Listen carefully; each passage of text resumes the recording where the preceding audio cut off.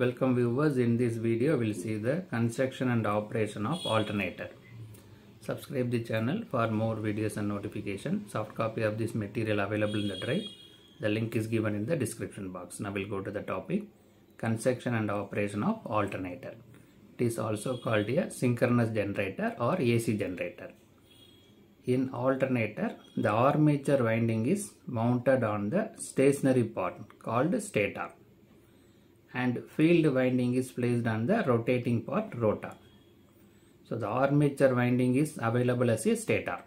Field winding is available as rotor. Just opposite of the DC machine. I will see the stator frame. In a DC machine, the outer frame serves to carry magnetic flux, but in alternator, it is used for holding armature winding and stampings in position. So normally in DC motor that is a outer cover that will carry the magnetic flux but here you are holding the armature winding and the stampings.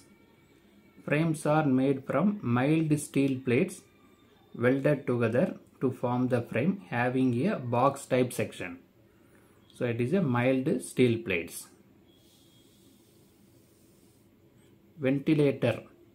Ventilation is maintained with the help of holes cast in the frame.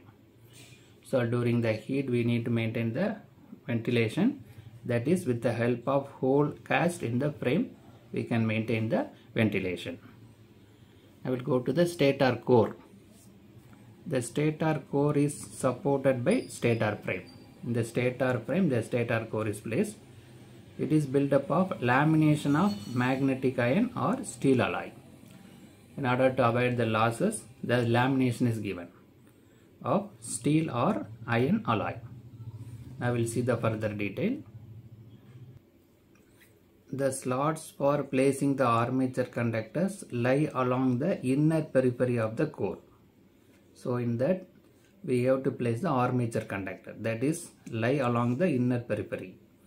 The laminations are insulated from each other with varnish or paper and have spaces between them to allow cooling air to pass them.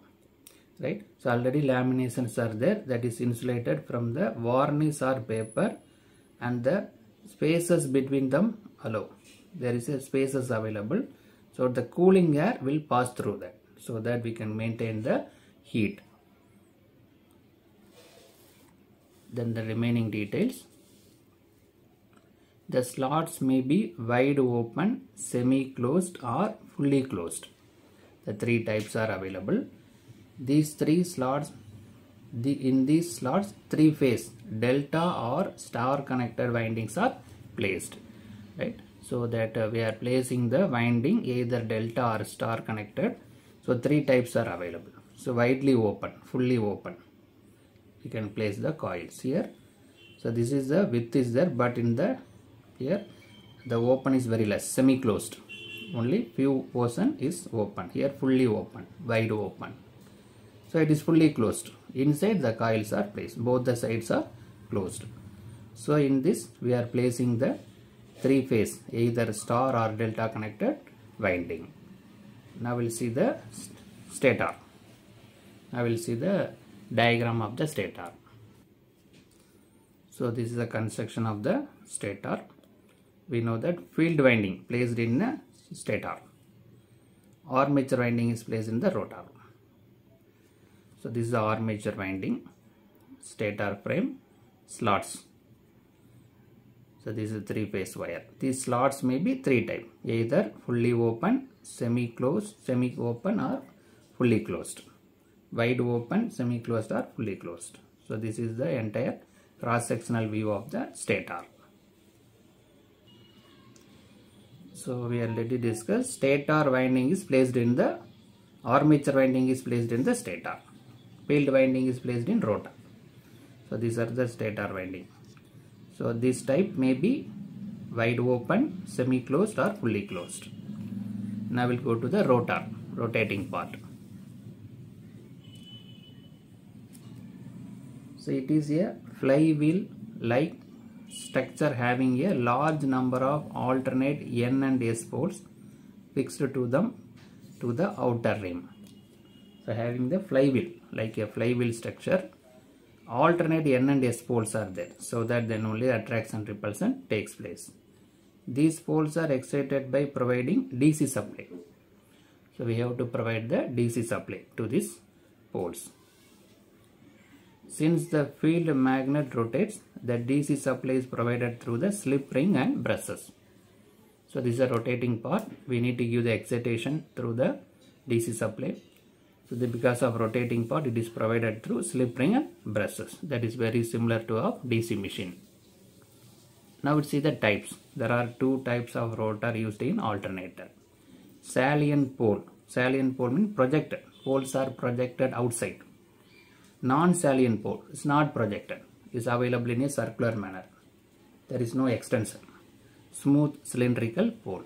So here projected, here not projected. Salient pole, non-salient pole. Salient means projected. Now we'll see the salient pole and non-salient pole one by one. First we will see the salient pole or projected pole. It has a large number of projected poles having their core bolted into the heavy magnetic wheel of the cast iron or steel. There are projected poles are there. N number of projected poles are there. Now we'll see the diagram so that the description can be understood easily. So this is the salient pole or projected pole. See these poles are projected. In case of non-projected mean is available in as a circle. There is no projection. So this S pole, here also S pole, N pole and N pole. This DC supply is given. So it is connected in such a way that the because of the current incoming and outgoing, it produces N pole or S pole. See this, this end is connected here. This end is connected here. The connections are given such a way that it will provide the it will produce the N and S pole alternatively. This is the shaft. In that shaft, the poles are projected. Over the pole, the coils are available, field windings are available. That will produce N and S pole alternatively. So this is a projected pole, projected shaft field winding. Now we'll see the description.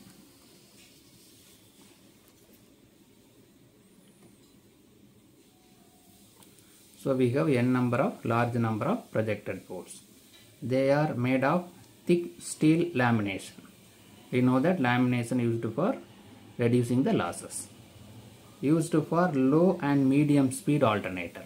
Projected pole used for low and medium. 125 to 500 rpm. Non-salient pole, smooth cylindrical used for high speed. Such generators are characterized by their large diameter and short axial length. Diameter is large and the length is short. The next type is just opposite. Small diameter and long axial. The pole core and pole shoe are laminated to minimize the eddy current losses. Right, this pole core and pole is laminated. Now we'll go to the next type, non-salient pole. So the second type is non-salient pole or smooth cylindrical pole. That is, poles are not projected here. It consists of smooth forged steel cylinder having a number of slots milled out at the intervals along with the outer periphery for accommodating the field coils. So it is a smooth cylinder, smooth cylindrical, smooth cylindrical having the slots available at the intervals. In that we can place the coils. Now we'll see the diagram. So this is the non-salient pole or smooth cylindrical pole. So there is no projection. The coils are available inside in a cylindrical form. So here N pole and S pole is there, 2 pole. This is 4 pole. N pole, S pole, N pole again S pole. That's vertically N pole, horizontally S pole is available. So these intervals are not uniform. It may be different. The poles having place at the non-uniform intervals. So these are all two types, two pole and four pole. In previous case, the poles are projected. Now it is not projected. The coils are available inside. It is in the form of cylindrical, smooth cylindrical form. I will see the description. It is used for high speed machine designed for two or four poles. So it is for high speed. Earlier case low speed. 2 or 4 region corresponding to the central polar area are left unslotted right? So the 2 or 4 regions there is there is no there is left unslotted. So that is available here. Here 2 unslotted. Here 4 regions are unslotted. Now we'll see the remaining. The central polar area are surrounded by winding field winding placed in the slots so these these dotted lines are nothing but here windings so here we can place the windings field coils are so arranged around this polar area that flux density is maximum on the polar central line and gradually falls on either side. So this is the polar. Yes. Here the maximum thereby it falls. So at the central polar area it is maximum. Now we'll see the further detail. Here poles are non-salient that is they do not projected outside. This is smooth cylindrical. They are characterized by very small diameters and long axial length. The earlier case large diameter and short axial length. This one small diameter and large axial length. They are preferred for high speed. Earlier one low speed 1500 to 3000 rpm. So this is the detail about non-salient pole, smooth cylindrical pole. Now we'll see the excitation system used for this alternator.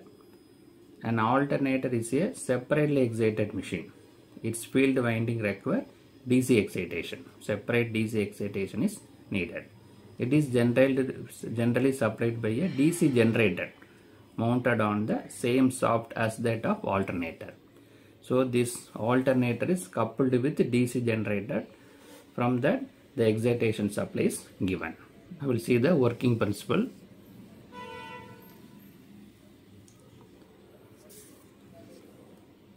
When the field winding in the rotor is given DC supply, a magnetic field is produced. So based on the excitation system, the supply is given to the DC supply given to the field winding. So magnetic field is produced. When the rotor rotates, we know that it's alternated. So this mechanical energy is converted into electrical energy. That is we need to rotate by using the, we need to rotate the um, alternator. So when it is rotated, the stationary armature conductors cut the rotating magnetic field of the rotor. So here the sta stationary magnetic field is there in the field winding. So that will cut the rotating magnetic field of the rotor. And so by Faraday's law of electromagnetic induction an EMF is induced in the armature conductor. Right, so this is the normal basic principle. When the conductor cuts the magnetic field when the current carrying when the stationary conductor cuts the magnetic field based on the Faraday's law of electromagnetic induction EMF is induced in the armature conductor